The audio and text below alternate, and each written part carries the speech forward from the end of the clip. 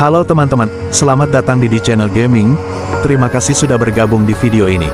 Bagi yang belum subscribe silahkan subscribe dulu, dan klik tombol loncengnya agar kalian selalu update video terbaru dari di channel gaming.